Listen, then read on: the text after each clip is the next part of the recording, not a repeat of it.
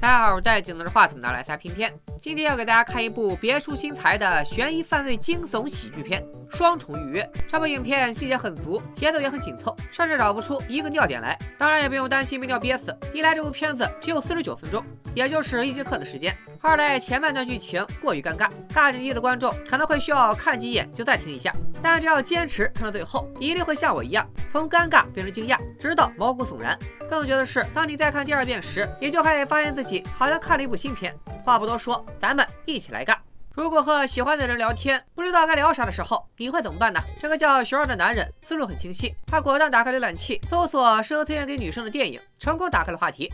要我说，他就是没各种片片，不然翻我主页就能找到一大堆精彩电影。熊二按照搜索结果挨个推荐，接到女生没看过爱尔兰电影《曾经》，立马就照着网页开始显摆，成功的吸引到了女友的兴趣。只见熊二一个战术停顿，赶紧搜索一下这部电影，照着电影梗概念了一遍，成功收获了女友崇拜的目光。女友说，她很尊敬那些懂电影和葡萄酒的人。受到暗示的熊二转手又去查怎么显得自己很了解葡萄酒，果然一句话却让女友满眼小星星。凭借搜索引擎和过硬的网速，熊二成功的立住了博学的人设。从以上情节不难看出，熊二在和女人聊天这方面，那可是徒手拆核弹有一手。他的女友名叫阿雅，短发圆脸，戴着耳环，被熊二一张嘴哄得一愣一愣的。阿雅看到他家里沙发套换了，熊二就解释这是为了换个心情。阿雅送给他一个娃娃，熊二就把娃娃摆在了客厅，让女友看的。阿雅最近换了工作，熊二就特意买了一瓶酒，搞了这么个远程庆祝会。可就在熊二和阿雅你侬我侬的时候，一个叫玛雅的人发来消息，要和熊二远程生日聚会。原来熊二这厮脚踩两条船，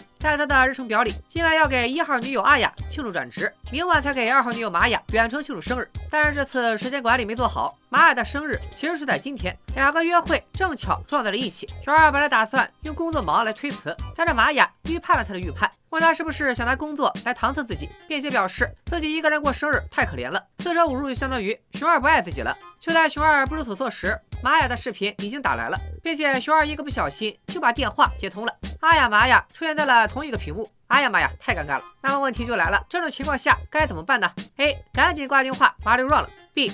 介绍两位女友认识，领取一等成结局。C. 遁甲。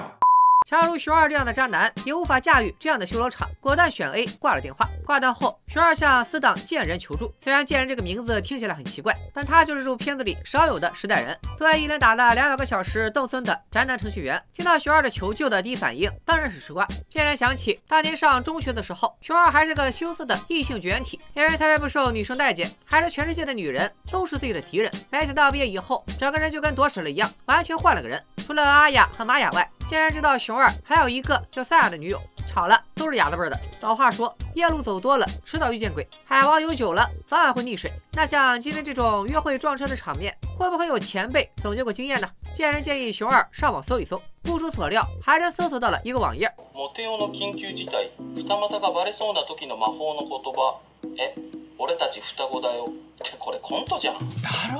这主意不是一般的馊，大年三十晚上的小品都不敢这么演。就在束手无策之际，一旁的贱人是肯尼迪坐敞篷车，开了个脑洞。他想到给熊二创造一个影分身不就好了？于是就让熊二说一些表示认同的话啊，对对对啊，是是是，你说的真是一点都对之类的，就像于谦老师的几句词儿就能捧一切一样。贱人把这几个动作剪成了一个视频，在熊二分身乏术的时候，只要用这段视频替代摄像头画面，就能和对方聊一段时间。实际效果就像这样。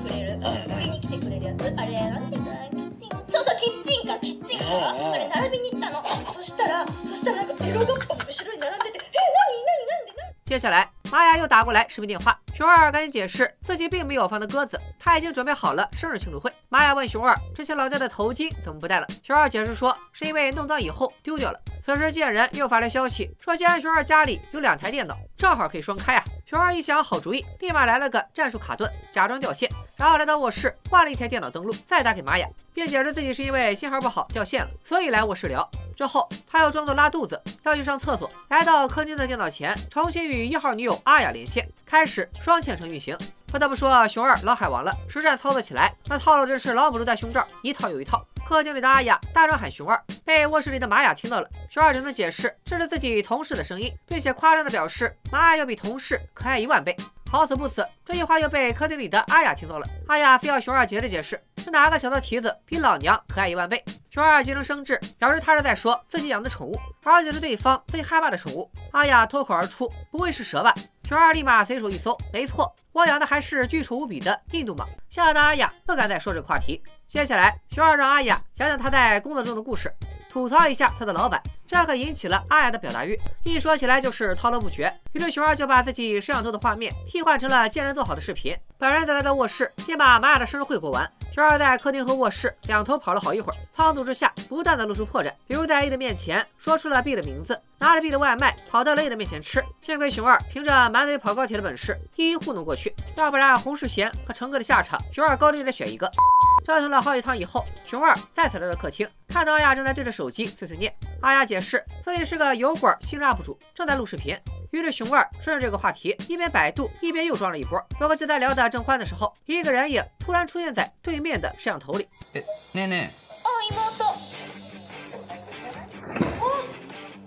妹。あ、もしかしてそっちもリモート飲み会中？玛雅离开后，熊二向阿雅一再确认，又跑到卧室的电脑前找玛雅又问了一遍，终于确认这两个哑子辈的女友其实是亲姐妹，而且现在就在一个房子里。此时玛雅觉得，既然你都问起来了，那我把姐姐叫过来认识一下吧。熊二根本来不及阻止。那么问题来了，在这十万火急的时候，各位设身处地的想一下，如果是你，你会怎么办？A. 挂电话；B. 坦白从宽挂电话 ；C. 自挂都难吃挂电话。但是熊二根本不是会妥协的人，不逼一把，你都不知道他能想出什么主意。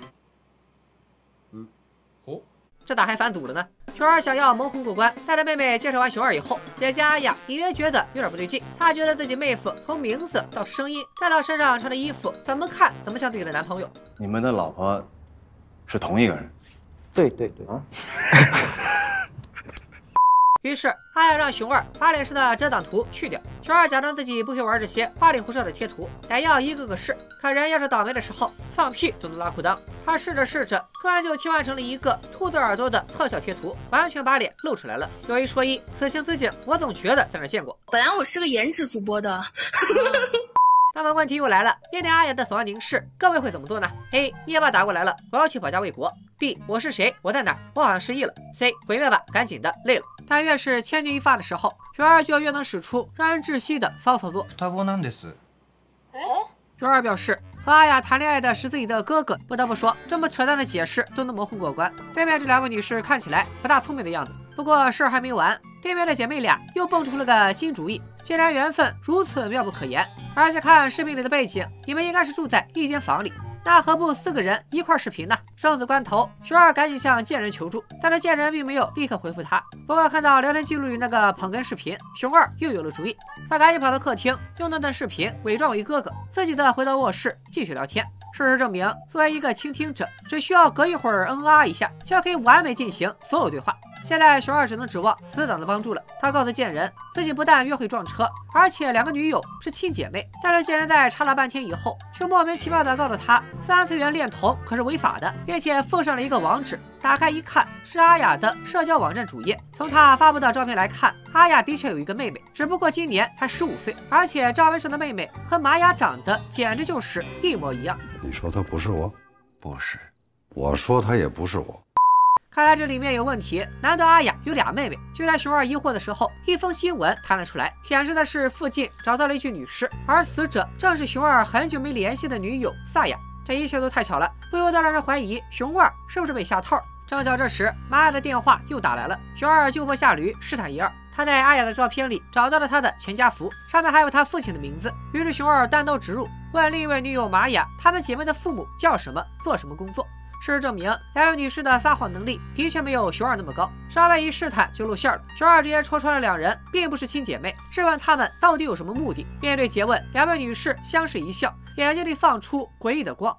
说到这里，终于能够花开两朵，各表一枝了。两位女士并不是亲姐妹，她俩是在一家咖啡店偶遇的，而能相识，则是因为其中一人在手机付款时，手机壁纸上的熊二照片引起了另一个人的注意，这才发现他俩被同一个狗男人给扎了。两位女士在一番争执之后开窍了，明明狗子认识熊二，他俩为啥要干仗？不如联合起来制裁渣男。正巧作为新 UP 主的阿雅发现，虽然在熊二的后宫里，玛雅只是个妹妹，但是在油管发视频方面，玛雅就是前辈了。要不说缘，妙不可言。同为 UP 主的受害者一拍即合，打算整蛊熊二，并且做一期视频。也就是说，今天的约会撞车事故完全就是两位女士自导自演的，为的就是拍到熊二疲于奔命的丑态。所谓的阿雅升迁和玛雅生日也都是假的。熊二一开始也并没有记错日期，是玛雅故意告诉他一个错误的日期。为了收集更多的视频素材，阿雅还在送出的娃娃上安装了无线摄像头。从熊二把娃娃摆在客厅的时候，他的一举一动都被窥探着。得知真相以后，熊二想要销毁娃娃，但是所有的视频都已经无限传输到女士这边。穷途末路的熊二彻底破防，跪下疯狂的祈求他们千万不要把拍到的内容上传。但是此时人为刀俎，他是鱼肉，完全没有讨价还价的余地。大快人心的水势，这就告诫我们一个道理：做人还是得一心一意，做事就要以诚相待。双双约的故事还没有结束，你以为结局就是熊二这个渣男遭报应，皆大欢喜的 happy ending 吗？并不是，后面还有反转。很快，玛雅把视频干出来发给阿雅看，但是在审完视频以后，阿雅心软了。杀人不过头点地，而这个视频一旦发出去，熊二要经历的恐怕是彻底的社会性死亡。看着自己的男友最后崩溃的样子，她有些于心不忍。相比之下，玛雅就要理智得多。这渣男祸害的可不止他俩，拉出去人道毁灭都算轻的，不曝光他留着过年吗？可惜玛雅并没有把娃娃拍到的素材全部看完，不然的话，他应该会更激进。最后。玛雅把所有的素材都传给阿雅，让阿雅决定这些素材要不要保留。此时，玛雅家里响起了铃声，她以为是外卖到了，就起身去开门。而阿雅在查看素材时，却看到了这么一段。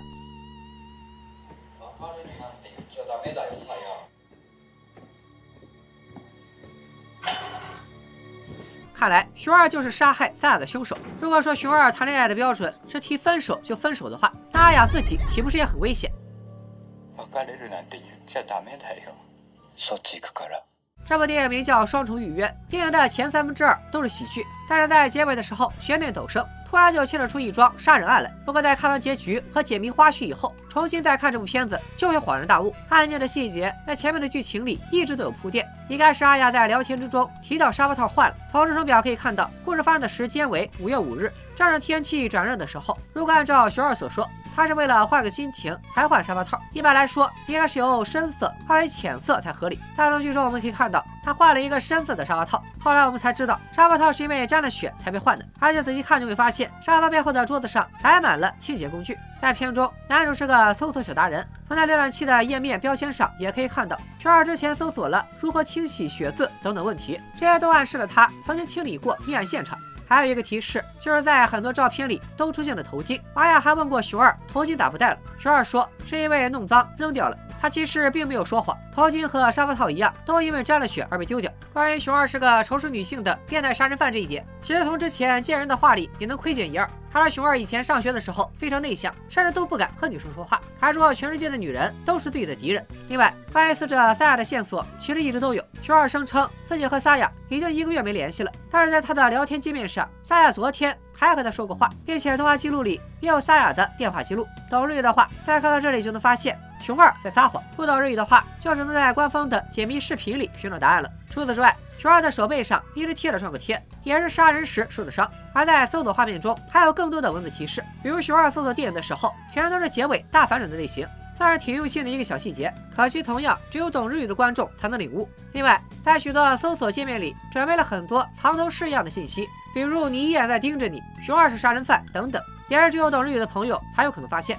好吧，估计懂日语也够呛发现得了。这里的泥燕就是阿雅所送的那个娃娃。泥燕是日本传说中的一种妖怪，能够辟邪除病。因为疫情的原因，在日本一度卖得很好。亲子之间送一个泥燕娃娃，也属于美好的祝愿。而这个道具和许多细节，也表明了影片拍摄的大背景，那就是疫情之下，日本政府下达了自诉令，让大家自觉待在家里，别溜达。所以影视剧的拍摄也被迫打断。也正是受限于疫情，才让剧组想到了可以制作这种桌面电影。说起来，桌面电影并不是什么新鲜玩意儿。比如边边姐说过的《网络迷踪》《解除好友二暗网》，也是这种纯靠电脑桌面来讲故事的作品。边边当年还和团队的小伙伴一起拍了一部短剧《怪事屋》，其中有一集便是用了桌面电影的形式。这部电影似乎证明了桌面电影的拍摄方式格外适合疫情的大背景。比如这部短剧，四间房，五个人，几台电脑，拍三天就完成了。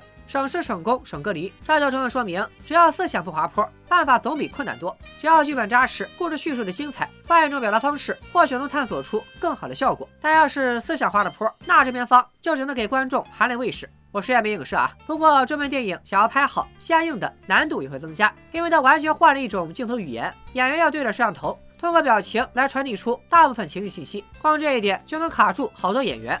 说回了剧情，一遍观影，我们看到的是一个海王翻车的喜剧片，其中机缘巧合闹的笑话让人忍俊不禁。表面上看起来热闹，但实际上就是一个时间比较长的小品。可第二遍看就会发现，这分明是两个女士狩猎的视频。所谓的不敏感和不聪明，都只是驱赶猎物的计谋。